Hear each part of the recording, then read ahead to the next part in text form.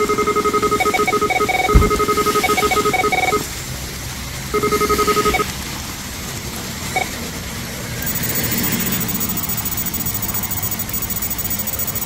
right, hey, this is Hans, and it's time for yet another episode of Instant Noodle Recipe Time. This is the show where I show you what to do with your instant noodles, and today I've got one from Indomie.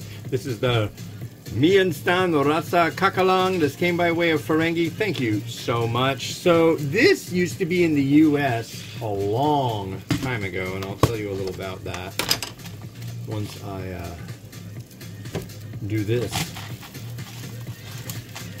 So yeah, you'll enjoy.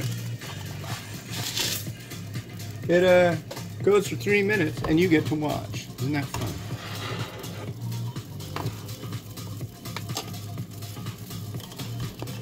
So, yeah, this used to be just known as Skipjack Tuna. There used to be a place that I went to called Evergreen Oriental.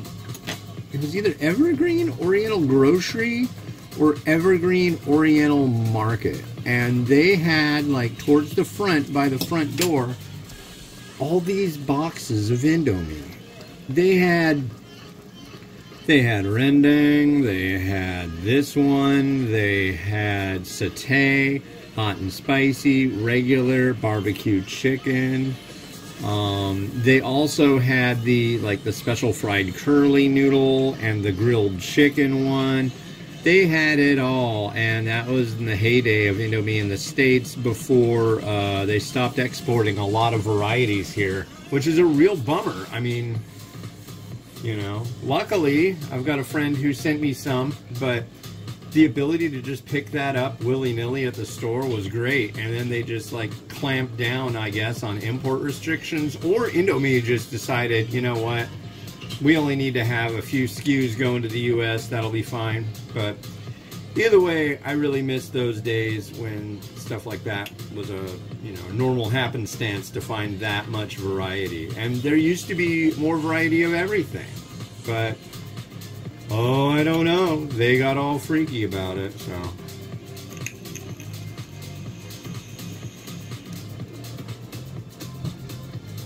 a lot of it has to do with protecting our agricultural industry, and a lot of that just seems like a big load of crap. I mean, but you know, what can I say? It's the U.S. Department of Agriculture. I don't, I don't, I don't really have any pull with them. Can't really tell them what to do. So I'm just glad we get what we get. I can say that much. And there's new stuff all the time for me to try that's locally available.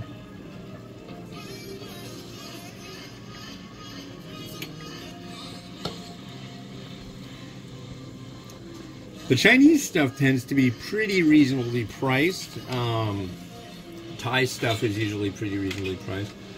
The stuff that's expensive, though, is the stuff I really like to get, which is the Taiwanese stuff. You've got like four packs of noodles that are going for like $10.99 at the Asian grocery, and in fact, over at uh, our local Safeway store, God, and I'm talking everything. You've got instant noodles from uh, Taiwan there that are going for $15.99 for a four pack. It's ridiculous. And it's stuff I want to review. I'm hoping the company will send me some, but then they've got like Shin you can go to like Walmart and get Shin for next to nothing, but at Safeway they want like $10.99 for a multi-pack of Shin Ramyun, and that's like hatefully expensive. I don't even know how to mentally process that. So this has uh, a chili powder sachet and it also has a seasoning base and fish floss. Fish floss is basically dried fish that's not powdered but kind of like scratched, I guess, shredded. But it's shredded to such a degree, it's just like you drop it in stuff and it just like melts. I remember on a flight to Taiwan, you could get uh, pork porridge, and I would usually get that, and uh, it would come with fish floss. And it's yeah, it's it's not bad. It's pretty good. generally when I see it, you know what's really good is pork floss. I'm to tell you right now. That's that's the ticket. All right, very well. And I'm really looking forward to the next one I'm reviewing because that one could be a, a top tenor. But let's let's stay on focus, stay on task. So this is Indomie Rasa Mi uh, Mi Instant Rasa Cakalang. This looks like the standard Indomie noodle, which you all know and love, I'm guessing. There's this version, and then there's a Mi Goreng version, I should note. Mi Goreng obviously does not have soup. Hmm.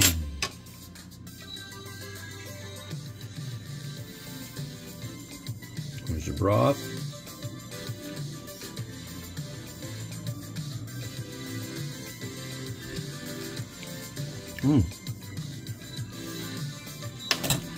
Indeed, it does have kind of a.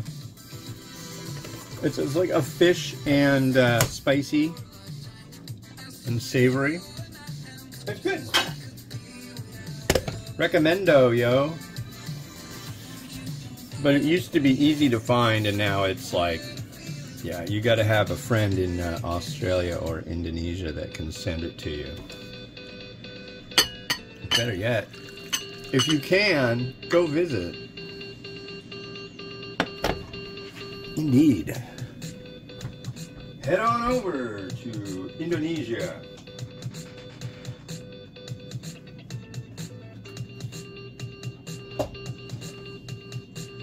But don't check my bags if you please, Mr. Customs Man. You know, because they're going to be like, uh, we don't know what this is. This says artificial chicken, which could mean it has chicken in it. That's my, I, I got that once. I was told that. I'm like, dude. Don't you say anything at us. Yeah. I know, they're just doing their job. They can't, you know, make exceptions unless they want to. They did that once. But, like, no, I don't understand. That's a whole nother gripe I have, but I'm going to just leave that be. I'm having a good day. A little bit of spring onion. Crushed red pepper would be apropos in this matter. And a little bit of sesame seed.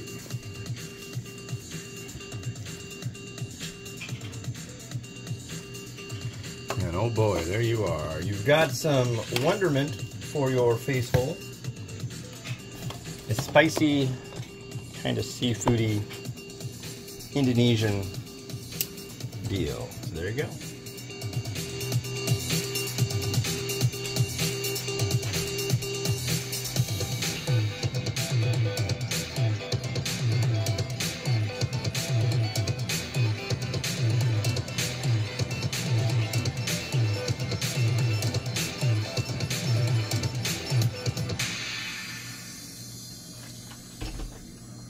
And all right, on to the next one. This is one that came out of a Zen Pop box. You can go to zenpop.jp, use the coupon code for a discount. This is uh, Sapporo Ichiban with uh, Tenka Ippin.